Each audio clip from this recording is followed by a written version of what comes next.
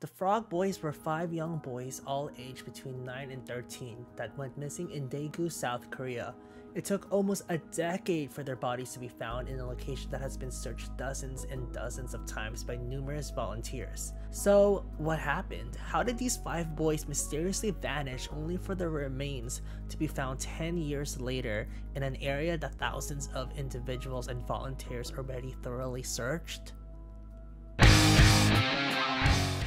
Hey guys, what is going on? Welcome back to another international true crime video. Today we are going to be covering the Frog Boys, one of the most craziest and bizarre cases that's ever happened in South Korea. And frankly, super sad because it happened to five children, very, very young, extremely heartbreaking, and the story just absolutely broke me. Um, just finding out like what the parents had to go through and just the pure neglect that the police officers in this case had on the investigation. But we're just gonna jump right into it. So this case happened on March 26, 1991. So this day was a public holiday due to the upcoming regional elections. So at the time, everything was pretty much closed. Like the schools were closed, people were staying home. It was basically recognized as a national holiday. So in this case, there are five boys that were involved. Wu Cha Won, age 13, Jo Ho Young, age 12, Kim Young Gyu, age 11, Park Chang In, age 10, and Kim Jong Sik, age 9. I apologize ahead of time if I butchered any of those names. Feel free to correct me down below as always. But they all attended the same elementary school and they all lived pretty much close to each other. They would oftentimes hang out a lot. They were basically brothers. They stayed as a pack together. As well as they all did taekwondo together. They were all enrolled in taekwondo academy. And essentially they all just had a really strong bond with one another. So all the children basically had a day off and they decided to play play with each other. So previously they were actually just around the neighborhood until one of the neighbors yelled at them pretty much saying that they were like starting to cause a ruckus. So they decided to kind of go into their location in a mountain called Mount Woryong. The kids, they really enjoyed collecting salamander eggs and this is kind of where the name Frog Boys kind of went about. Um, they weren't searching for frog eggs or frogs, it was salamander eggs actually, but it wasn't really like as common as people thought it was. So the name Frog Boys kind of just sticked. But anyways, the last time that Chon Wong's father actually saw him was when he was running to grab a thicker jacket, only saying that he was going to play outside. It wasn't until the afternoon that Chon Wong's father, Wong Jong-woo, realized that his son and his friends were missing when he received a call from the Taekwondo Academy, basically saying that Chon Wong didn't show up for his class. And this was just very weird to the father, uh, considering the fact that his son never missed a single day of Taekwondo practice. So then he called up the other parents and they too confirmed that their sons were also missing. So they found this extremely odd and it decided to basically go out looking for them. So at this point, they all pretty much gathered together and they were kind of just frantically trying to look for where their son could possibly be. It wasn't until one of the kids' friends actually provided some information as to where they could be, which is Mount Woryong, and he told them that they were basically like looking for salamander eggs. So previously there was actually going to be six kids that were going to go collect salamander eggs, but one of them actually decided to stay behind because they didn't eat breakfast. So the parents go to the mountain to basically search for their kids and they search all through the night until it really just started getting dark and they had absolutely no luck in finding their kids. So as the night passed, they just weren't having luck. They couldn't find their son anywhere. They were nowhere to be seen. Um, they decided to go to the police and alert them. So initially, the police actually did not take this case very seriously and they did not take what the parents were saying very seriously. They actually, they were basically saying, oh, your kids probably just ran away, you know, it's very common, they'll be back. Um, and obviously, we all know this is not to be true. The first 24 to 48 hours of a kid disappearing is vital. It just absolutely decreases the chances of finding them after those 48 hours. So those 48 hours are extremely crucial. And I guess this just didn't click in their head or I don't know if they knew this information prior, but they kind of just like shrug it off saying that they'll be back, you know, they just ran away. And they did very little to kind of like ease the parents anxiety. So at this point, the parents were absolutely starting to get restless and they just felt like, like they couldn't count on the police officers just because they weren't taking this matter very seriously. So they decided to take the matter onto their own hands. They contacted a bunch of journalists, some news reporters, and basically just had their boys' names plastered everywhere. And I mean like everywhere. This was like in major headlines uh, back in the days and it just absolutely worked a lot of people were starting to get involved in the case thousands and thousands of people contributed to the parents and was just giving like their utmost support but along the way they also did get a bunch of nasty ass people. So not long after the first broadcast, one of the families got a call from an anonymous man who claimed to be holding the children captive, elaborating with they are all suffering and two are very ill. He demanded a high amount of ransom for the children, which the parents readily agreed to, and they were all to meet at a train station. The man had told them to go and wait. And so that's what they did. They waited and waited and waited and guess what? No one showed up. And the families just realized that this was just all a twisted prank. So this is absolutely disgusting. Like imagine doing this to a bunch of grieving parents who are already having crazy anxiety trying to find out where their kids are. Like what kind of human being does that? So as the case kind of goes on and progresses and as the case started getting a lot more traction with the media and with thousands and thousands and thousands of people, this is when the police really started getting involved. But they were still treating the case as if like it was a runaway case. And I just want to applaud the parents because they weren't going to take the shit from the police officers. No, no, no, no. They weren't going to take any of it. And being the great parents that they are, they went to the same news broadcasters, the same journalists, and basically told them that the authorities just wanted to wrap up this case really quickly that they didn't really care about it and they're not taking it as seriously as they should be. And this wasn't just a harmless laziness on the part of the police. There's a reason why we have Amber Alerts now. The longer a kidnapped or missing child is away, the harder and harder it becomes to find them. And even if they were runaways, children who run away from home and aren't found are at exponentially higher risk for things like human trafficking. So the lack of response wasn't just annoying, it was just plain out disturbing. In a later interview, the father of Park Chang-in would say, we, the parents, meant nothing to the police. But with the grievances now aired on national television, the police were finally called out on their shit. And this is the point where they really started putting in a lot of effort in finding these five boys. So it wasn't until shortly after that another sick ass person would go and torment the families by pretending to be one of the boys. So the boy pretended that he was Jong Sik, um, and the mother even heard this and confirmed that it was him, but it was later revealed that this was all fake and it was just another prank yet again. So the parents just could not catch a break, you know? Like a lot of people were taking this very seriously and a lot of people did care, but there are that very handful amount of people out there that just have no hearts or no remorse at all. So at this point, even the president at the time started taking notice of this case, and it was actually him who came out and called for a further investigation into the disappearance. So hundreds of thousands of volunteers and police personnel descended onto Mount Woryong going through the foliages in rank and file, ensuring that no area was overlooked. And this wasn't just like a few thousands, guys. 300,000 people and police officers volunteered or were kind of placed, if that's their job, there to search for the missing boys. And a reward was posted for 42 million won, which equivalents to about $32,000 for the safe return of the boys. And this was all pulled together by the community, which was extremely extremely generous of everyone who donated, as well as schools throughout the whole entire country. But even at this point, and with the time that has passed by, there was just no luck in finding the missing boys. And eventually years passed by and they just weren't getting any luck and the, the case was just going dry. Not as many people were really following the case anymore, but the parents were very strong-willed and they were gonna do whatever it took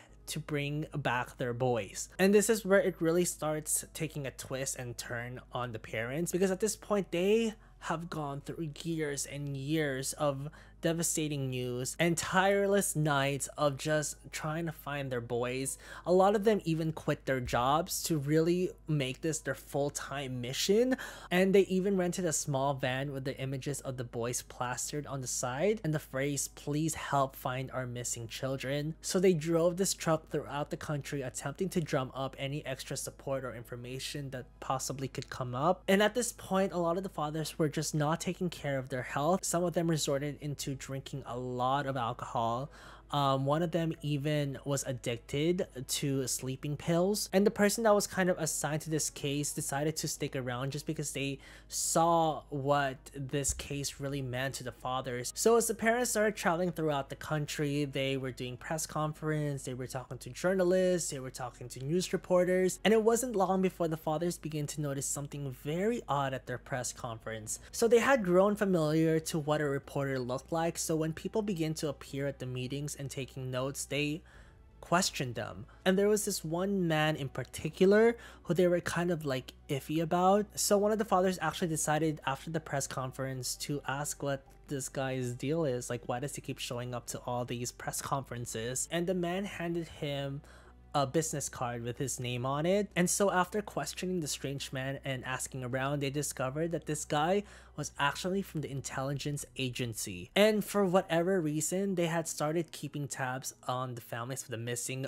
frog boys, even showing up at their houses to question them and track every movement that they made. Like they knew the schedule of these parents from day to night and it was just extremely disturbing and frankly really creepy. But they claimed that they were just there to simply protect the families which the families highly doubted this, especially as evidence started to point towards the military base on Mount Woryong. So obviously there were a lot of conspiracies as to where the boys could have been. A lot of people thought that they could have possibly gotten kidnapped.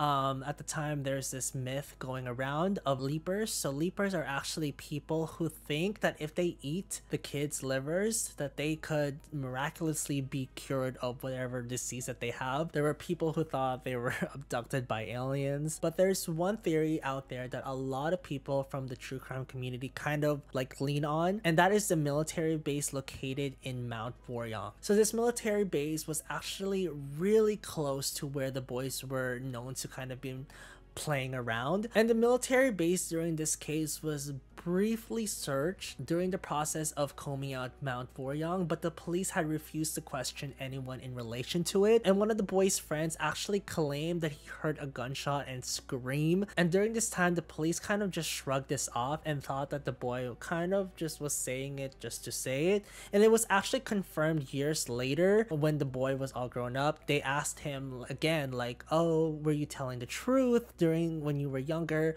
on like hearing a gunshot and hearing a scream and he confirmed that he was telling the truth. But at the time, the police didn't believe him and they thought that this was just some crazy rumor. So three years have passed by and a lot of the families actually had to go into debt just because a lot of the fathers weren't working. They were making this their full-time mission to find their boys. So they had to return back to life and back to working. But they didn't give up. They were still contacting news reporters. But at this point, a lot of the news reporters were actually declining their calls just because this news was starting to get really old and it was no longer relevant. And even when the parents went there in person, they were escorted out by the news reporters. So the answer was painfully obvious. Interest had all but completely faded due to no new information or events to keep the story alive. So with debts piling up and families still to look after, they had no choice but to try and move on from one of the worst things a parents could face. So two years after returning to work in a semblance of normalcy, a sickening accusation drew media attention yet again.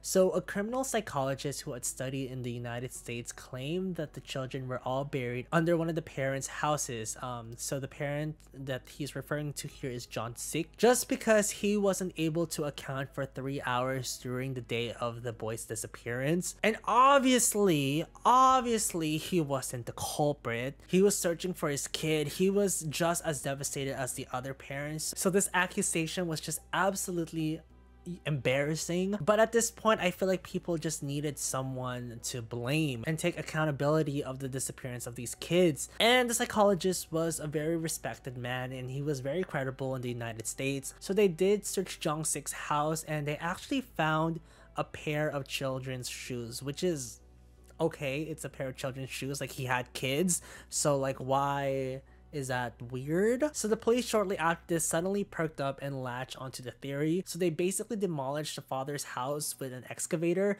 searching for remains that just weren't there. And after finding this out, the psychologist actually started running away. And the crowd that was there was actually just furious. They started chasing the psychologist around and basically was like, oh, get him, get him, he's running away, get him. And eventually he was taken to the police station for his safety, but obviously he was wrong. And this wasn't the only bad thing to happen to the fathers. Another father would eventually also be diagnosed with liver cancer and pass away from it five years later. And one of the fathers even stated that I think he became sick because of the exhaustion of searching for his missing son. His body gave out under the stress while he was only in his 40s. But one year later, this case actually had its big break when the remains of the five boys were actually finally found. So on September 26, 2002, two hikers who had been foraging around for acorns actually stumbled upon clothing partly hidden in the undergrowth. They realized that they looked suspiciously childlike and upon further inspection they saw the remains of the bodies. And so then they decided to call the authorities and get the authorities involved in this. So authorities were called and they quickly realized what they were seeing. It was the five frog boys and they were nothing more than skeletal remains and clothes tangled up together. So by the time the families arrived, people were already gathered around to watch the proceedings the clothes of all five boys and the braces of actually one of the boys were found and positively identified by the family. And the shirt of one of the boys had been tied in front of him and this was extremely odd just because this was something that he would have never been able to do by himself. And not to mention his pants had been flipped over his shoulders after unknotting the shirts. And so as one of the parents went to go examine their kid, they actually found something that was extremely horrific. So after unknotting the shirt, empty cartridges and unused bullets were actually found in one of the shirts. And they found something that was quite odd, something that didn't really add up. And that was that the wounds on their skulls weren't consistent with the gunshot. So if they had been shot, the skull would have actually fractured and left behind bone fragments. But none of that was actually found in the investigation. And actually the coroner and forensic analysis ruled that the most of the fractures seem to have been caused by blunt force trauma, probably with like a metal object such as a pipe or something.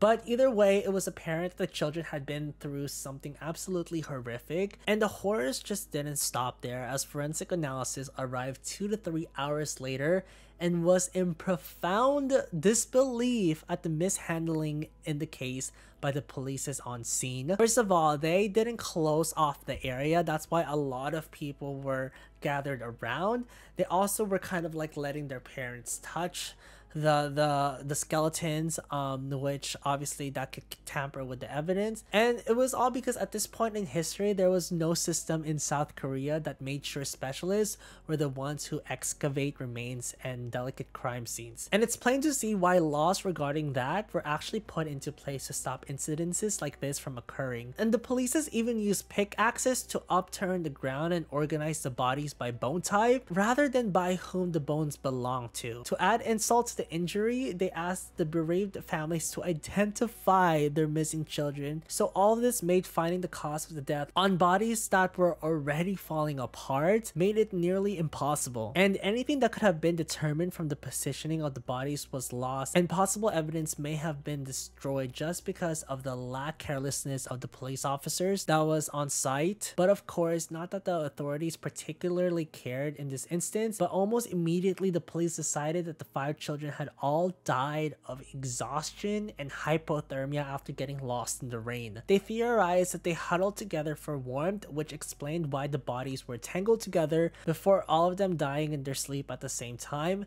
so without noticing the others were dead and moving away. So the family and the forensic analyst obviously disputed this claim just because of how unbelievable they were and their reasoning were. Not only that, but the children had all grown up around Mount Boryong and knew it like the back back of their hands. There was absolutely no way, no way that they just had gotten lost and laid down to die. And even if they had somehow lost their way, the days of shouting their names in the woods would have gotten one of their attention. And this was even further proven when a separate team of experts from the Korea Alpine Federation arrived to weigh in on this matter. With their specialization obviously being in regions like Mount Boryong, they could offer valuable insight for cases like this and could help determine if this was all likely that the children had simply gotten lost. And they actually determined that there was no way that the boys could have actually died from natural cases, i.e. hypothermia. And according to the rescue team, Director Chong Wong-suk, the area isn't high up at all. It isn't even 100 meters away from the streets. Just use some common sense. And locals even pointed out that even if it was at night, the illuminated Daegu city was still visible from Mount Woryong and would have been an easy beacon for the children to follow. And if it really was cold and raining, it would have only taken 5 minutes for the boys to run back home. And this theory was further even more debunked because if the bones in fact were on top of the ground, the children's bodies would have rot or like nearby animals would have come and ripped up the body,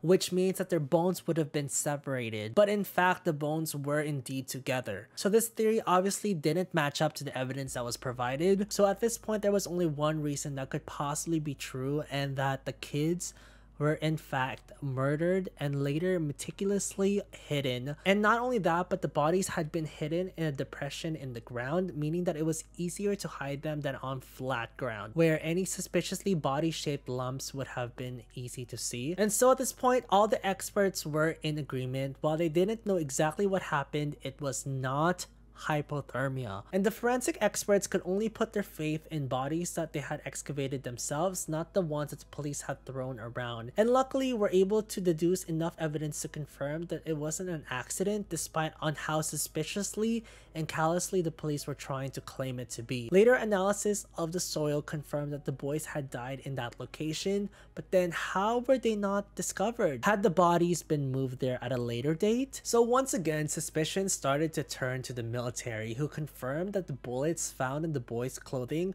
were from its shooting ranges on Mount Boryong, but denied anything to do with the deaths, and they claimed that because of the public holiday on the day of the disappearance, they were no practice drills running, but they added a cryptic detail which is that the military officers could shoot on their own and there was indeed a commissioned officer at the shooting range to empty out ammo cartridges that he had. So this could also explain why there was extra ammunition cartridges that had been found near the crime scene, which the police had actually discarded as a coincidence rather than evidence. And the presence of ammunition a couple of hundred meters away from the shooting range wasn't common, but when found near the bodies of five murdered boys, it drew more than a few raised eyebrows. And so without any more evidence to go off of, and with the police investigation basically reaching an end due to the same recent speculation running wild, the most popular theory was that it was all a military cover-up after an accident gone horribly wrong wrong, and all the evidence seemed to pretty much support that. Maybe they had gone to collect bullet casings,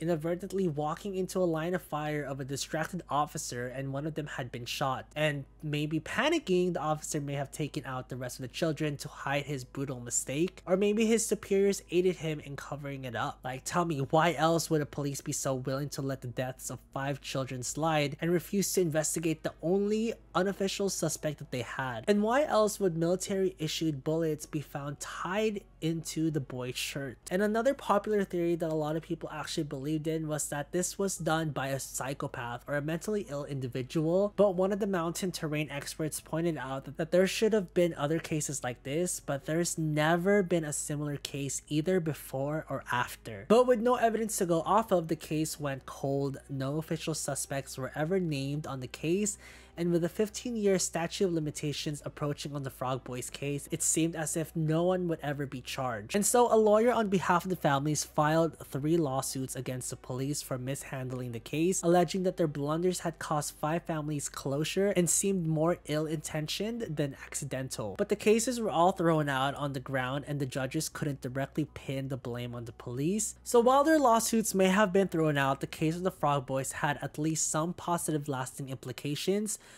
the statute of limitations for the first degree murder was removed, meaning the case could be potentially reopened if more evidence or suspects were to be found. And the fathers all still refused to give up and abandoned the case completely. So even with the bittersweet ending, at least the families were able to gather up some closure of their children. And so the parents actually had their boys cremated and spread across the Nakdong River. And one of the fathers even commented they died together, so we wanted them to play together in the afterlife. So obviously a very heartbreaking story. My heart absolutely goes out to all the families out there who were affected by this. They had to suffer years and years of torment of the police officers, of the military base, and a selected amount of really heartless people. So obviously this case is unsolved and if there are any more further evidence that will resurface, I will definitely go ahead and cover that. But if you guys like this video and you guys want to see more international true crime, make sure you guys go hit that subscribe button down below. And while you're at it, please go hit that like button down below. That would really help me out a lot. I will definitely be posting more true crime videos and maybe some lifestyle videos, some other videos that I want to do on this channel.